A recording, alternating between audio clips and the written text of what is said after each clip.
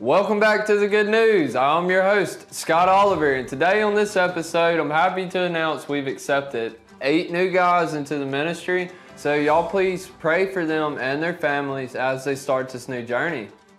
So, in other good news, the guys that are working on the house are going to start the metal roof on it this week. So, that's just one step closer to getting some new residents in there. Um, so, y'all be keeping up with the news for more information on it. As you all well know, today is Memorial Day. Um, so, if there are any veterans watching um, today, I would like to thank you for your service. And uh, here's Resident Banner with more about Memorial Day.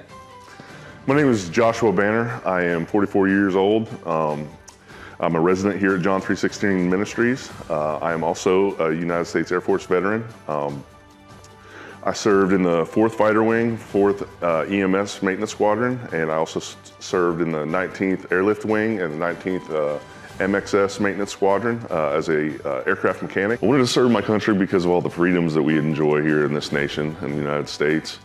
But in that, um, I was left unfulfilled in the sense that, uh, you know, I was an atheist, so there was there was uh, something that that what I couldn't fulfill um, in the military through money, through a, a job or a position, but um, uh, that led me deeper into my alcohol addiction. When I came to John 316 Ministries um, and Jesus saved me, uh, I found freedom in Christ and uh, a brotherhood that was very similar to the military.